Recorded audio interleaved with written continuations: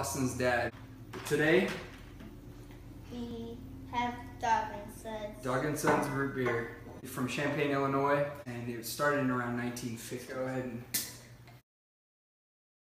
Bubbly. That is a lot of carbonation.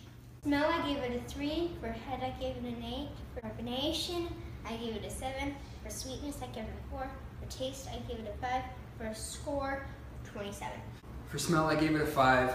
Head, I gave it a six. Carbonation, I gave it a seven. There was quite a bit. For sweetness, I gave it a four, and for taste, I gave it a four for an overall score of 26. That gives us an overall score of 26.5. You send us root beer, we send you a sticker. Thank you for tuning in.